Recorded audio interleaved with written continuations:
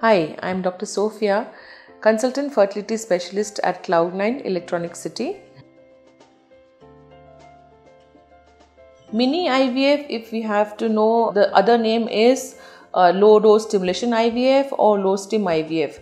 So what we do in, is something called as we have conventional IVF where we uh, give a routine dose of higher dose of injections and then we retrieve the eggs.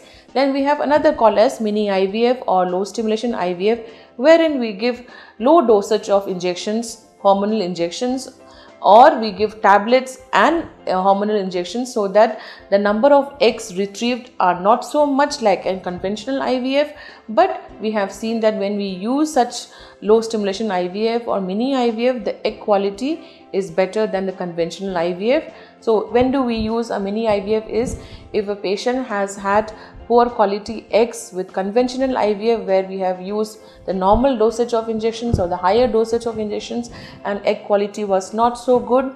Next cycle we may plan for a mini IVF wherein we give a combination of tablets as well as hormonal injections in the form of gonadotropins and also in another set of patients where we plan for something called as embryo pooling wherein if the patient has low number of eggs then we remove one set of embryos freeze them and remove another set of embryos. So when we plan for embryo pooling we can go for something called as mini ivf or low stimulation ivf the advantage of mini ivf is cost wise it is definitely cheaper than the conventional ivf because the number of injections required are less.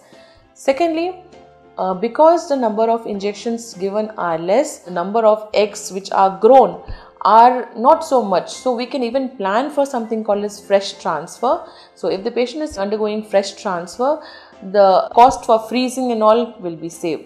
But a disadvantage of mini IVF is that the number of eggs retrieved are not so higher as compared to a conventional IVF. So we can expect lesser number of eggs when we do a mini IVF.